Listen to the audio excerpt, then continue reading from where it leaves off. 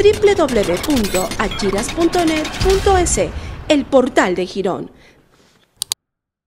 Otro accidente se produjo aproximadamente a las 14 horas en el sector de El Verde, a 11 kilómetros de Girón a Cuenca, donde un automóvil Chevrolet Sail perdió pista y se estrelló contra un bordillo y un muro de contención, dejando cuatro personas heridas, tres adultos de 18, 32 y 37 años y una niña de 4 años, quienes fueron asistidas por personal de rescatistas de Bomberos Girón, Bomberos Cuenca y la ambulancia del Hospital de Girón. Las cuatro personas en estado estable fueron trasladadas al hospital Aida León de Rodríguez Lara de Girón.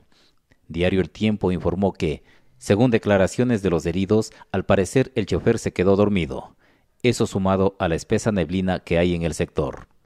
Agentes de tránsito recomendaron a los conductores que frecuentan esta carretera tomar las precauciones necesarias, como manejar despacio, encender las luces, descansar con mayor frecuencia y evitar rebasar en curvas.